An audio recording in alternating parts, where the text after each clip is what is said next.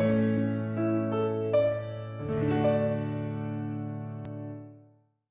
love that song. As we begin, please open your Bibles to 2 Peter chapter 1. I've been, like Steve, I've been battling a cold and cough this week, but I think I'm on the downside of it, so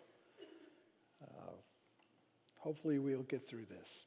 This is a letter which is known for its important truths about dealing with false teachers, but there's more here than simply instruction about avoiding heretics. This book is filled with rich truths, and so I'd like us to take some time to think about some of them this evening. At the end of the 19th century, a man by the name of J.C. Ryle, who lived in England, wrote a book. Whereas his ministry encompassed the last part of the, that century, his life covered a good part of the 19th century. He was a bishop in the Anglican Church and was a very biblical and godly individual. He wrote a book entitled Holiness, which was published in 1879. It's been republished, it's available today. In fact, the entire book is available to read online for free. So I would encourage you to get a copy or go online and take the time to read it. I, I, I want to read you some excerpts from it. I, I don't like reading long quotes, uh, but what Ryle wrote is significant. And I think you'll find it very pertinent to what we're going to be talking about this evening. In the portion I want to read to you, Ryle wrote about the condition of the church in his day. Uh, he wrote this almost 130 years ago. But I think you'll agree that except for the older style of writing, it sounds like it was written yesterday about the American church. Now, I'm not going to be reading consecutively. I will not take the time to tell you where the breaks are, but I will uh, read what is pertinent and I will not violate the context of what he is saying. Ryle writes There's much in the attitude of professing Christians in this day which fills me with concern and makes me full of fear for the future. There's an amazing ignorance of Scripture among many and a consequent want of established solid religion. In no other way can I account for the ease of which people are like children tossed to and fro and carried about by every wind of doctrine. There is an Athenian love of novelty abroad and a morbid distaste for anything old and regular in the beaten path of our forefathers. Thousands will crowd to hear a new voice and a new doctrine without considering for a moment whether what they hear is truth. There's an incessant craving after any teaching which is sensational and exciting and rousing to the feelings. Inability to distinguish differences in doctrine is spreading far and wide. And as long as the preacher is clever and earnest, hundreds seem to think it must be all right and call you dreadfully narrow and uncharitable if you hint that he is unsound. Now, that was from the first part of the book. Let me read you from the last part. The times require at our hands distinct and decided views of Christian doctrine. I cannot withhold my conviction that the professing church of the 19th century is as much damaged by laxity and lack of distinctiveness about matters of doctrine within as it is by skeptics and unbelievers without. Today, a myriad of professing Christians seem utterly unable to distinguish things that differ. Like people afflicted with color blindness, they are incapable of discerning what is true and what is false, what is sound and what is unsound. They are destitute of spiritual sense, apparently, and cannot detect error. These people live in a kind of mist or fog. They are eaten up with a morbid dread of controversy and an ignorant dislike of party spirit, and yet they really cannot define what they mean by these phrases. The explanation of this boneless, nerveless jellyfish condition of soul is not difficult to find.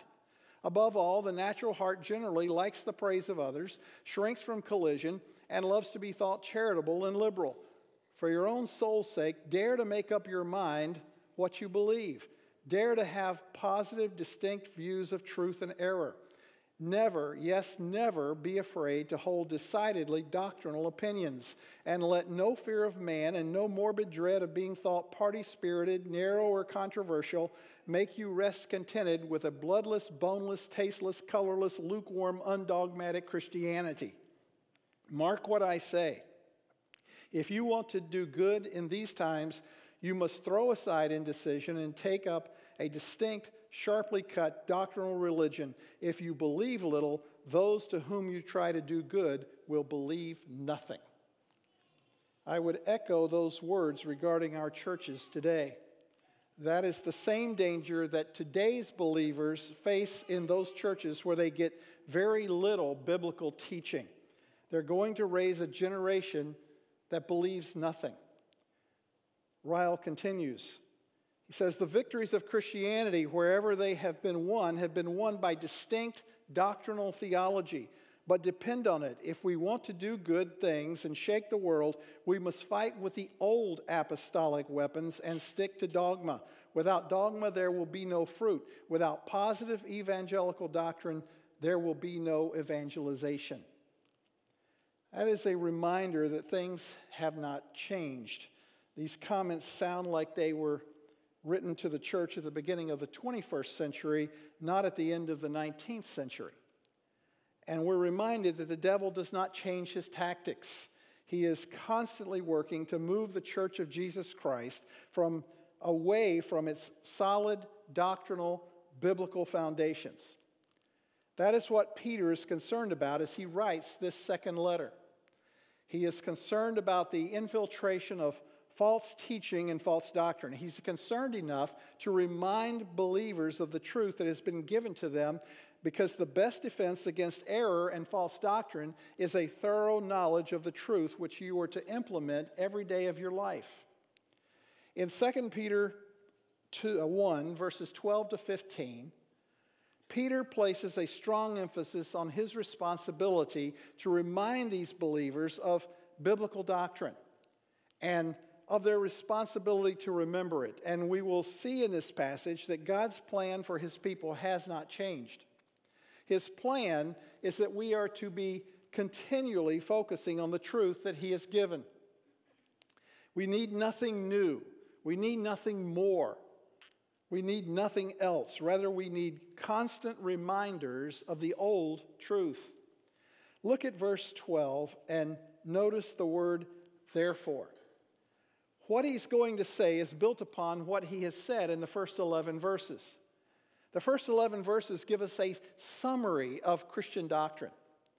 We have come to the true knowledge of the living God and His Son only because God, by His grace, sovereignly has given us the faith to believe in Jesus Christ. And it is in this salvation, in the true knowledge of God, that we are given everything that pertains to life and godliness. Verse 3. We've became partakers of the divine nature, having escaped the corruption that's in the world through lust. Verse 4. We now are diligent to grow to maturity in this new life that we have in Christ. Verses 5 to 7. And it is essential that we be growing because this marks us off as true children of God in whose lives God is working. Now, beginning in verse 12 and down to verse 21, the focus is going to be on the importance of God's word as the foundation and center of their lives as God's people. But we're only going to consider verses 12 to 15 tonight. And the first thing we see is his readiness to remind them. His readiness to remind them. Notice how Peter starts verse 12. He says, Therefore, I will always be ready to remind you of these things. He's using the future tense. He is saying, whatever ministry I have with you now or will have with you in the future will be a continuation of the ministry that I had with you in the past. It will be a presentation of the same truths. I am going to be reminding you. I will always be ready to remind you. There's an emphasis here. The, the verb to remind is in the present tense, and it denotes that you are continually doing something. So, as they move into the future, Peter will always be in the process of reminding them. So, what is he going to be doing in the future? The same thing that he's doing now reminding them. He wants them to have these truths well in hand. And in verses 13 to 15, Peter tells them that he will constantly remind them of the truths that Christ has made clear to him so that they will be able to remember these truths after he dies. And he says the same thing uh, over a page in chapter 3, verse 1. This is now, beloved, the second letter I'm writing to you in which I am stirring up your sincere mind by way of reminder. They are to remember the word spoken beforehand by the apostles and prophets. Here is a man at the end of life's road. If he had anything new to give, any alternatives, anything additional, now's the time. But he says, All I want to do is devote the rest of my life to reminding you of those same great truths. Now, in verse 12, the term these things refers to the things of verses 1 to 11. It doesn't mean that those verses contain everything that could be said, but that this is a basic summary of God's truth. From God's salvation right on through your growth as a believer and preparation for the coming eternal kingdom. These are the things on which Peter wants you to focus. Verse 12 continues. Says, Even though you have already know them and have been established in them. He's saying, I want to remind you, and, and I will be reminding you, that, but that doesn't mean that I think you don't already know them or not already established in them. But it is absolutely essential that we go over them again. And so he gives two participles, even though you know them and are established in them. Those are what are known as perfect participles. In in the Greek language, the perfect tense denotes something which has happened in the past, but the results continue in the present. So, this is truth that they have known and continue to know, that they have been established in and continue to be established in. But Peter still wants to tell them this truth again and again and again. Perhaps the simplest illustration of this is to which we can all relate is the way we are with our children. When uh, we warn children, don't get in the car with a stranger. If someone pulls over to the curb and wants to talk to you, run to somebody's house. And we crank up those warnings if we get a note from the school that says, Please warn your children that the police have told us that there's someone in the neighborhood trying to lure children into cars. So all of a sudden, we have to tell them again. And what's the attitude of the children sometimes? Oh, mom, you've already told me this a hundred times. But you say, I don't care. I'm going to tell you again. Why? Are you, what are you afraid of? Are you afraid that they will say they haven't heard it or that they don't know it? No, we know that they know it. We're just afraid that they will let down their guard and our warnings will not be on their mind when the danger confronts them.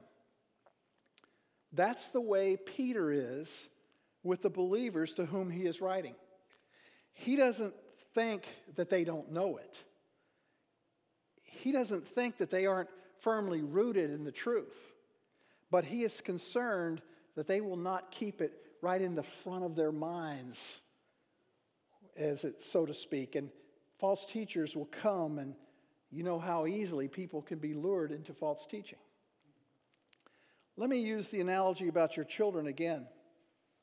You don't want your child to stop and listen to the person in the car. You don't say to your children, you can listen to him, and if you think he's a nice man, it's okay. If you think that what he's offering you as a gift is something you would like, you can take it from him. No, you say, don't talk to him. Well, believers get into trouble too when they say, Well, let me hear what this guy on television has to say. Hey, you know, it sounds pretty good. He says, I can have my best life now. Yeah, I'd like to have that. I'd like it to be that way. And that's how they're lured away. So Peter wants them to have this truth right at the forefront of their minds. We're never beyond the need to be reminded of what we already know as God's people. This is especially important when we're faced with false teaching and false doctrine. Turn over for just a moment to the little book of Jude, please. Jude and 2 Peter are like a match set of bookends. They're, they're so similar in their instruction. Look at what Jude has to say in verse 5. Now I desire to remind you, though you know all things once for all. Jude, like Peter, is saying that he has to tell them what they already know well and have in hand. Why? Because they are being faced with the danger of false doctrine and false teaching. That's why we need that warning to be fresh in our minds all the time. All the time. Now turn back to 2 Peter and look at the second half of verse 12. Not only do they know these things, they're standing firm in them. Peter says, even though you already know them and have been established in the truth. Established is a strong word. It denotes that they have a firm stability in their faith. He doesn't want them to be shaken, though, from that firm stability. Turn over a page and look at the end of 2 Peter 3. In verse 16, you'll see the negative side of this concerning false teachers. Right in the middle of 2 Peter 3:16, he identifies these false teachers as being untaught and unstable. Notice that word unstable. It is the same root as established, but it's from the negative side. They are not stable, they are not established in the truth. Verse 17 You, therefore, beloved, knowing this beforehand, be on your guard so that you are not carried away by the error of unprincipled men and fall from your own steadfastness. Steadfastness, that's the exact same word as the word established in our text. That's stability. But just because I know these things and am established in them does not mean that I'm not susceptible to being lured away and losing that stability if I become careless. We have a master opponent, the devil. He is brilliant, he is clever. We should never, ever underestimate him. That's what Peter is concerned about. He says, You know these things, you're established in them, but I don't want that to change. At the end of his first letter, in 1 Peter 5:10, he said that after they're brought through their suffering, God will himself perfect, confirm, strengthen, and establish you. So they have already been established. That has been done and is ongoing. But he's giving this reminder. He's not reminding them because they know less or have less stability than some others, and so they need reminders. He says it's important that you be reminded.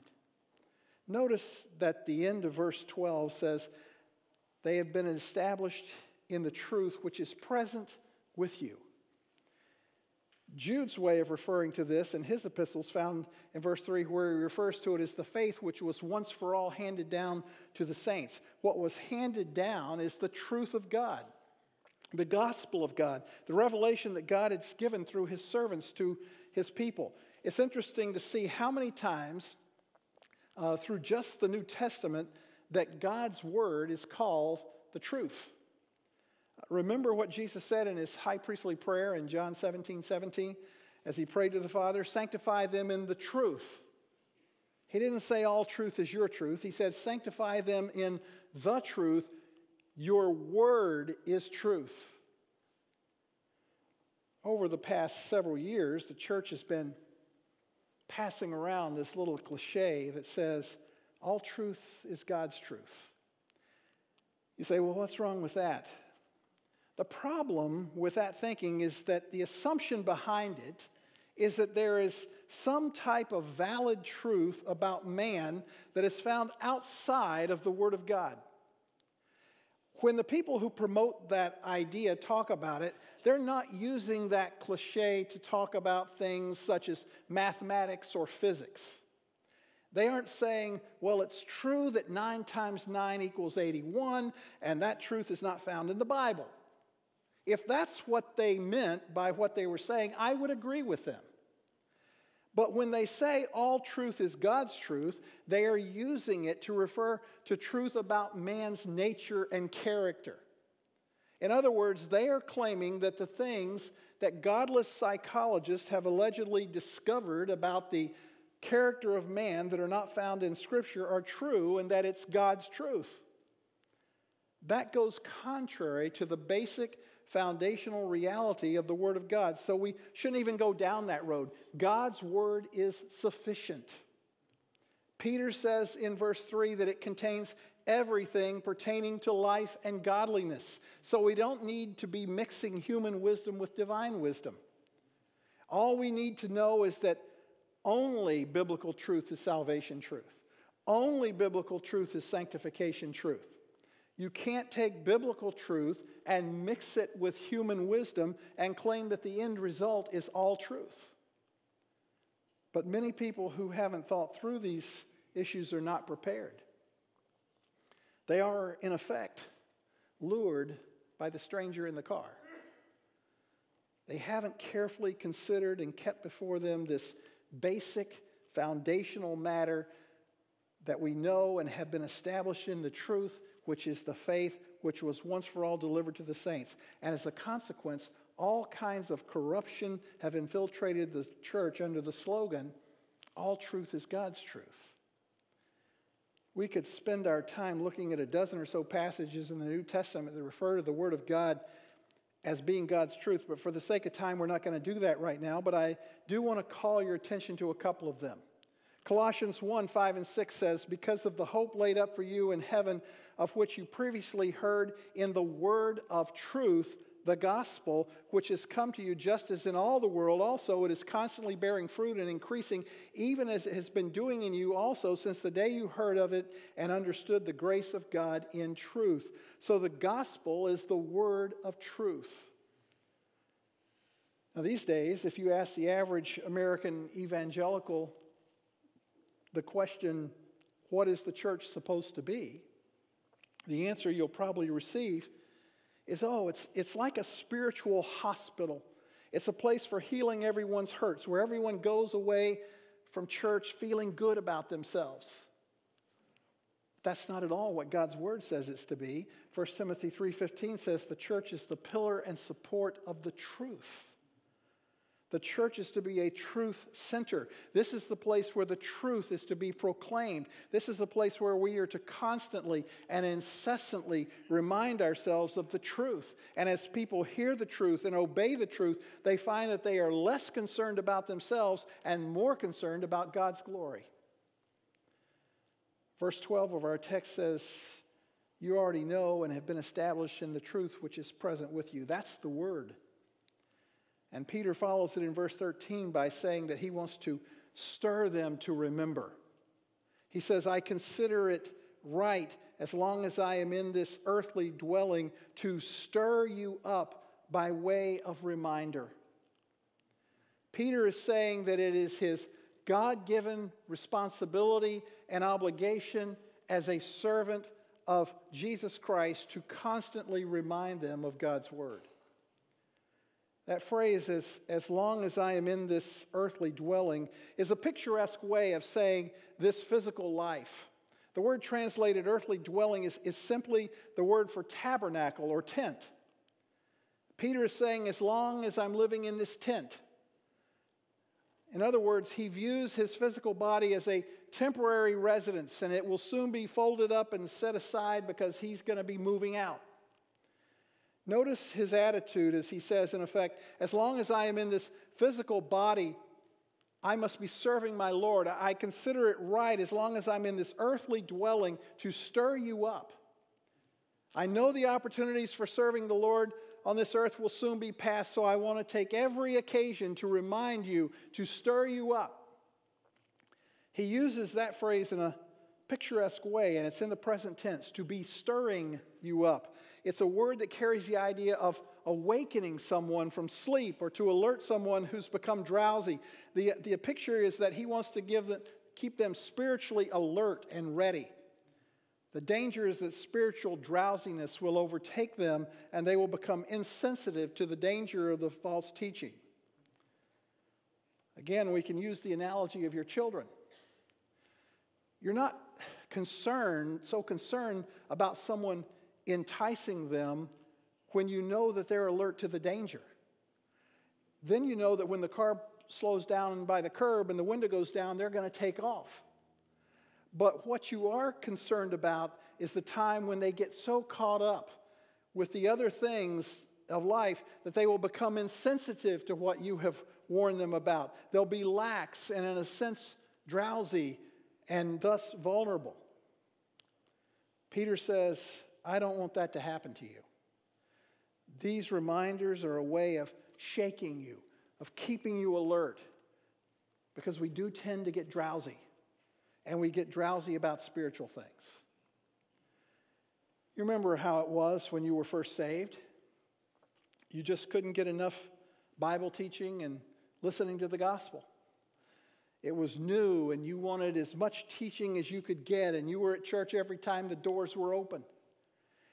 But after you were a believer for a while, you began to think, well, I don't see why we need to be in Bible study during the week. After all, there's a lot going on with our family. Kids are busy with sports. I have to work long hours. We're just so busy. We need to spend time together as a family. So I think we'll just cut out Sunday night church. And when we do that, we fail to appreciate that it is no less important to be reminded of the same truths after we have been Christians for 25 years than it was when we've been Christians for only two days. But we become somewhat lax. We were willing at the beginning to alienate friends and relatives left and right. Now we say, well, now that I've been a believer for 25 years, I, I, realize I don't want to alienate everybody around me. They have their beliefs, I have mine. It's best we not get into it. So I'll just be a good witness to them while we watch the game on Sunday night rather than going to church. That's what Peter doesn't want to happen. He's saying, You keep this constantly before you, keep constantly alert. Look at verse 14. Knowing that the laying aside of my earthly dwelling is imminent, as our Lord Jesus Christ has made clear to me. Peter knows that the end is near. In John 21 18, Jesus had told Peter in the presence of the other disciples, Peter, when you were younger, you used to gird yourself and walk wherever you wish, but when you grow old, you're going to stretch out your hands, and someone else will gird you and bring you where you do not wish to go. And right after that, in verse 19, it says that by those words, Jesus was saying to Peter that he was going to die an unpleasant death as a martyr, most likely by crucifixion. Now, at the point in time that Peter is writing this letter, more than 30 years have passed since Jesus spoke those words. Peter's not a young man anymore. He senses and knows that the end is near. He sees what is taking place around him. He realizes the animosity and opposition to the gospel is going to catch him in a snare and result in his execution. So it's all the more important that he devote himself to reminding these people who will be left behind to stand firm in the face of the deceitful teachers of false doctrine, of corrupt lifestyles. They must defend the truth and be faithful. Peter's like a parent who's dying while his children are still young. What do parents in that situation do? They want their they want to call their children around them and talk to them and exhort them. They'll say things like, Remember to do this, promise me you'll do that. And, and it's important. You won't be there for them to fall back on. You won't be there to remind them, so you have to do it now. Sometimes it's hard for them to appreciate how important it is that they hear it, but uh, again, but it is important. So Peter says, My life is near its end. I have to keep reminding you. Sometimes I wonder how I would have reacted if I knew how I was going to die like Peter did. Uh, how would you have reacted if you knew about your life what Peter knew about his? I think it would probably have been downhill from John 21 for many of us. All we would have been able to think of was, oh boy, I sure don't have a lot to look forward to. They're going to martyr me. I'm going to die a painful, unpleasant death. You know what the average American church would do today if Peter showed up one Sunday? They'd say, Peter, tell us how you feel. What emotions are going through your mind? Are you scared? What does your wife think? What have you said to your kids in light of the fact that you know you're going to go out of this world in a not very pleasant way? Are you able to sleep at night? Have you read a copy of Your Best Life Now so you can feel better about your situation? And they would have Peter in counseling. It, if it was one of us, we'd say, Oh, how can I ever serve the Lord? I've got this awful prediction by the Lord about my death hanging over me. And you know, I don't like pain. I know what they can do to people. And with the passing of the years, it had gotten harder because every knock on the door, every time they knock, it makes me jump. I'm afraid to share God's word because I think that could be the event that triggers it. You don't get that attitude from Peter. And the Apostle Paul didn't take that approach either in his last letter, 2 Timothy. They had a much more biblical view of death. Let me read to you what one writer said. He writes, We have much to learn from Peter's attitude towards death. He had for years been living with death. He knew that his lot would be to die in a horrible and painful way, yet he can speak of it in this wonderful way, apparently without fear and regret. I've often thought that all I want to do is to be able to be faithful to my ministry until I die. But sometimes I start thinking, oh man, even if the Lord grants me long life, I only have 15 20 years to go. So I need to start traveling and relaxing and simply enjoying life. I have to get to the point in my life where I don't have to do anything but relax and do nothing. And we here in America have people retiring at 50 or 55, idling the rest of their life away. But some, and somehow they just, we justify becoming idle and pleasing ourselves because life is short. It is short, but do you know the difference between believers and unbelievers? Believers are strangers and pilgrims here. We are servants of the living God, going diligently about his business until he calls us to glory. Yet, when we know we're going to die or when we get near the end of life, what do we think? I have got to take advantage of all the remaining time I have. I've just got to go out and see all the scenery and enjoy life and do all the things I couldn't do when I was younger. Frankly, folks, that's the world's perspective. The world says, eat, drink, and be merry, for tomorrow we die. They, they ought to live like that because that's all they have. But if you've been living in a t- dirty, torn, ragged tent and you're about to move into a $50 million palace, you don't say, Well, I've just got to spend as many years as I can looking around this tent and the weeds all around it. I don't want to miss anything here. It's just so wonderful. If that's the case, I don't think you have the right perspective. Is it any wonder the world doesn't see us as being any different? We've adopted this lifestyle. We might not say it, but we often think, I've got to go for the gusto. I've got to get all I can here because you know life is short. Well, praise God that it is short because then we finally get to glory. Now, I'm not saying that we should be anxious to die, but I'm saying that we ought to view death differently than the way it's viewed by the world. If you've ever read some of the old writers like John Calvin, you'll find that they drew a line between believers and unbelievers on the basis of how they viewed death. We ought to learn something from them and from the Apostle Peter. What really matters? Is he thinking about taking a trip to see all the sights around the Mediterranean during his final days on earth? No. He was writing a letter to remind them of what they already knew.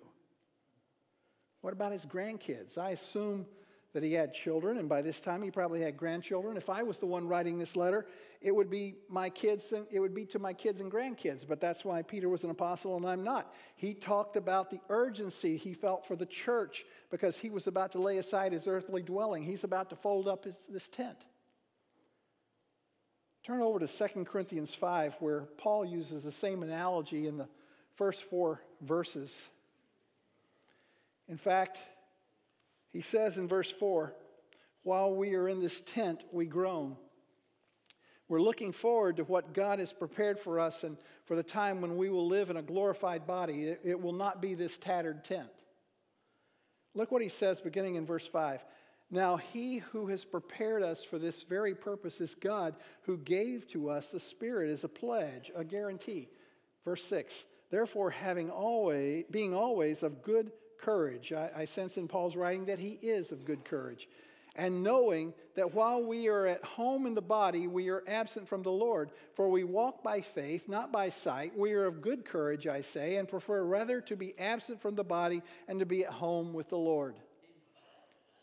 So we see that Paul too was prepared and he's busy about the ministry of the Lord. I grieve for the people who waste the last 10, 15, or 20 years of their lives when they could have devoted that time to service of their God right up to the end. In his wonderful little book titled Don't Waste Your Life, John Piper gives a very powerful illustration of what I'm talking about. He writes the following words I will tell you what a tragedy is. I will show you how to waste your life. Consider a story from the February 1998 edition of Reader's Digest, which tells about a couple who took early retirement from their jobs in the Northeast five years ago when he was 59 and she was 51. Now they live in Punta Gorda, Florida, where they cruise on their 30 foot trawler, play softball, and collect shells. At first, when I read it, I thought it might be a joke, a spoof on the American dream, but it wasn't. Tragically, this was the dream come to the end of your life, your one and only precious God given life, and let the last great work of your life before you give an account to your Creator be this playing softball and collecting shells. Picture them before Christ at the great day of judgment. Look, Lord, see my shells? That is a tragedy. And people today are spending billions of dollars to persuade you to embrace that tragic dream. Over against that, I put my protest. Don't buy it. Don't waste your life. In contrast to that story, he also tells the story of two great women of God. He writes in April 2000, Ruby Eliason and Laura Edwards were killed in Cameroon, West Africa. Ruby was over 80. Single all her life, she poured it out for one great thing to make Jesus Christ known among the unreached, the poor, and the sick. Laura was a widow, a medical doctor, pushing 80 years old, and serving at Ruby's side in Cameroon. The brakes failed, the car went over a cliff, and they were both killed instantly. I asked my congregation, was that a tragedy? Two lives driven by one great passion, namely to be spent in unheralded service to the perishing poor for the glory of Jesus Christ, even two decades after most of their American counterparts had retired to throw away their lives on trifles. No, that is not a tragedy. That is a glory. These lives were not wasted and these lives were not lost. Whoever loses his life for my sake and the gospel's will save it. You say, Bruce, are you saying that it's wrong to retire? That's exactly what I'm saying. I don't mean that it's wrong to retire from your job. In fact, I did exactly that six years ago. I retired from my career of more than 38 years in law enforcement. So I don't mean it's wrong to retire. I just mean it's wrong to retire and do nothing for the Lord the concept of retiring and just sitting around and relaxing is never found in the scriptures. I like what missionary and mission organization founder Ralph Winter has to say about this issue. He writes, Where in the Bible do they see that? Did Moses retire? Did Paul retire? Peter, John? Do military officers retire in the middle of a war? You see, man was intended to work until the day the Lord calls him home. It, it may not be in the secular business world, but every one of us needs to be working for the Lord to the best of our physical ability until the day we die. Every mission organization and every church I know has ministry needs that need people who have available time to fill them. We certainly do here at Lakeside. So plan now to work for the Lord throughout whatever years He chooses to give you. Now let's go back to 2 Peter 1:15 and finally we see his diligence to help them recall. Peter writes, "And I will also be diligent that at any time after my departure you will be able to call these things to mind." Notice that word diligence there. He used it back in verse 5. Now, for this very reason, also applying all diligence. And again in verse 10, therefore, brethren, be all the more diligent Now he's saying that he will be diligent with them.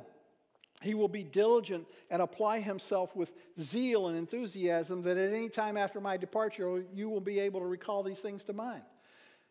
That, that word departure is literally the word exodus. It is used in the Septuagint, the Greek translation of the Old Testament, concerning the exodus out of Egypt by the nation of Israel. It's also used in Luke 9:31 when Moses and Elijah spoke with Jesus on the Mount of Transfiguration about his departure, that is, his impending death in Jerusalem. They, they use the word exodus because that's what death is. Death, the, the body without the spirit is dead, and at physical death, the spirit exits. The real person moves out, and the physical tent collapses. But one day, God will raise that tent. It will be remade in indescribable glory, and the Spirit will move back in. And Peter wants them at any time and at all times after his departure to be able to call these things to mind. So he keeps on reminding them. That's what I want to do. I'm sure that's what all the elders of this church want to do. They want to constantly remind you of the truth so that in every situation, at all times, whenever the need arises, you will remember it. Because one day, if the Lord doesn't return first, every one of we elders will be dead and gone. And, and we want to, those who are still here to remember the truth. But we get into trouble because we're just like our kids. We say, Oh, yeah, I know, I know. And then a situation comes along and it catches us off guard and we aren't ready for it. And so Peter says, I don't want that to happen. I want you to call these things to mind at any time after my departure. I hope you've noticed two things as we've looked at these verses. First, there's a lot of repetition. Peter says, I want to remind you, I want to remind you, I want you to remember. Because of that emphasis on reminding and remembering, the importance of the truth that God has given has been strongly emphasized in these verses. Acts 2:42 says the people in the early church were continually devoting themselves to the apostles' teaching. That was not to change after the apostles passed off the scene. We have apostolic succession, but it is not in a line of men who pass along authority from one to another. It's the passing on of apostolic truth that goes on from one generation to the next in the context of the ministry of the truth in local churches. We don't need something new. These are not different days. We don't even need new methods. In the last century, they called them new measures, and it became a guise, a, a disguise to undermine sound biblical doctrine. They said, oh, we aren't cha- going to change the truth, we're only changing the methods. I want to say something I know is going to get me in trouble with some people. I believe the method and the message are inseparable. Many people in the American evangelical community have created an environment where they no longer give sermons, they tell stories. And they provide entertainment and act it out. And all that does is move believers away from apostolic doctrine and create a superficial knowledge of biblical things that does not prepare them and equip them to face false doctrine and false teaching. The only way you prepare yourself for these assaults is by laboring in the word and doctrine, not with skits and drama. skits and drama can illustrate a point and they can communicate a truth, but they do not teach the meat of the word upon which you build the foundation that will withstand false teaching.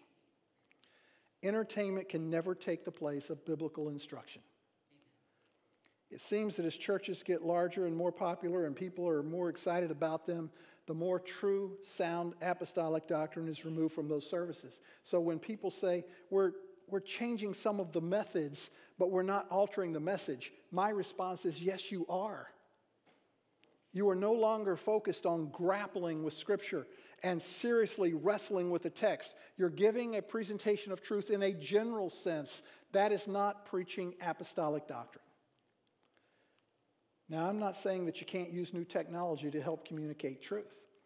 Being able to use computers and software to show things on a screen helps people know what you're talking about. But replacing the expositional teaching of the word with soundbite sermons and a comedic skit is a recipe for spiritual disaster later when the false teachers show up. And believe me, they will show up.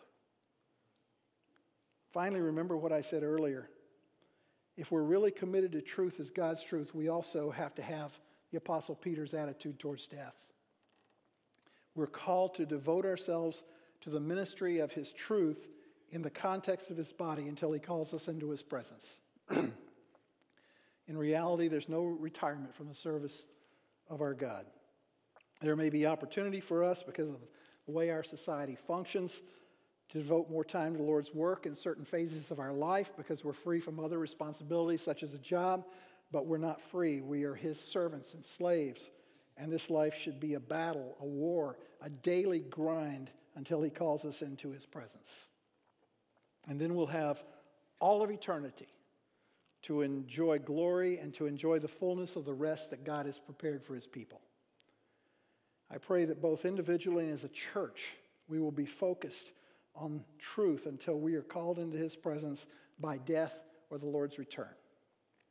Let's bow together in prayer.